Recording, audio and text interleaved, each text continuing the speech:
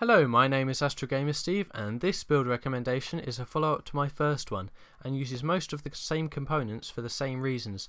So if you've already seen the first one you might as well skip through for the CPU, motherboard and RAM because that's all that's changed. But I wanted to show you how you can make some really significant improvements on it for a bit more cash. In any and all PC builder recommendations I make, the prices for components are rounded to the closest £5, as prices will fluctuate anyway, and they're based on the cheapest vendor, unless I specify that it's my recommended vendor. So, for the significantly improved CPU, I have chosen the AMD Athlon 2 X4 750K, which you can get for £60 or $90. This is quite like the CPU in the first guide, but better in every way, except power consumption of course. At 3.4 GHz, it's faster than the other CPU and easily fast enough for any game you throw at it. With a 4MB cache, this can store twice as much data for practically instantaneous usage. With a quad-core CPU, you'll be able to take full advantage of your graphics card in demanding next-gen games. Also, it should be noted that you need a graphics card when using this CPU. Some processors have built-in GPUs called integrated graphics, but this one doesn't. Also, integrated graphics is terrible. It really goes without saying that you need a separate, known as discrete graphics card for a good gaming PC. For all this extra power and hardware, you'll be spending slightly more on your electricity bill. It's certainly not the most efficient of processors. For the motherboard, I've gone with the ASRock FM2 A75 Pro 4M, which you can pick up for £50 or $80. It's compatible with the CPU, which is always a good start. Again, almost everything about this board is an improvement on the previous recommendation. Not as many USB ports, but they're USB 3.0, which is supposedly 10 times faster than USB 2.0. It's more like 3.5 times faster in real world testing, but it still makes a big difference. Plus, 4 USBs is enough for most people anyway. SATA 3, this is basically up to 2 times faster. SATA 3 is 6 gigabit per second, SATA 2 is 3 gigabit per second, and SATA 1 is 1.5 gigabit per second. 7.1 surround audio is an impressively high-end spec for such an inexpensive board. You very probably won't be using it to its full potential, but it's there. Now, hold on to your butts. This Micro ATX board, costing just £50, supports up to 64 gigabytes of up to 2600 MHz RAM.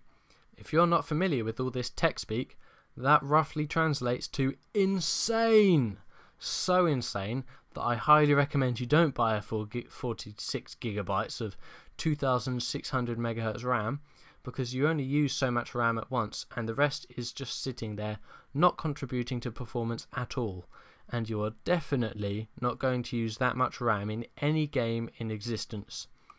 For the graphics card, I've still gone with the AMD Radeon 7790 overclocked 1GB which you can get for £85 or $130. As I've said before, with a gaming build, a good graphics card is essential as this determines how well your system will run games as long as it isn't bottlenecked. This is a surprisingly good graphics card for a low budget build. 128-bit is enough to utilize the standard 1GB of RAM in this card, but if you're going to buy a 2GB version, I would recommend looking for one with a 192-bit interface which may mean looking for another graphics card entirely. I would seriously recommend 2GB of GDDR5 RAM if you're expecting to play next gen games and high end current gen games, but this card handles quite well with just 1GB.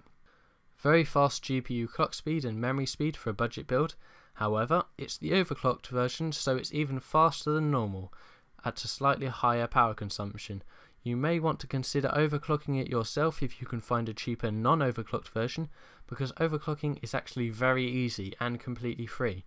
A single stat you can use to measure the power is teraflops, or T-flops. This has 1.79 and the GTX Titan has 4.5 and that is the single most powerful single GPU graphics card on the consumer market. Also, don't worry about the Titan's double precision. That is pro grade tech and it comes at a pro grade price. The Titan has the same specs as the 780, but with double precision and 3GB more RAM, and that would cost you £300 extra. Not worth it for games. For the RAM, I've decided on Kingston HyperX Beast, 8GB, 1866 MHz, which you can pick up for £60 or $90. Here we have the awesome HyperX Beast series of RAM from Kingston that I look to when I want really fast RAM. This is going to allow us to utilize some of the ridiculous potential of our motherboard. 8GB, like I said in the previous build video, is ready for next gen games as they will be looking to utilize the 8GB of RAM in next gen consoles.